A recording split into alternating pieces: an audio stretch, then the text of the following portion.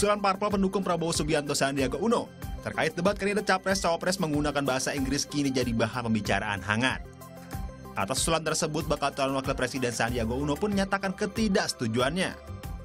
Debat itu memang bagian daripada satu penyampaian visi misi, tapi jangan malah akhirnya menjadi sebuah pemecah belah pemilih Prabowo Sandi dan pemilih Pak Presiden Jokowi Kiai Maruf.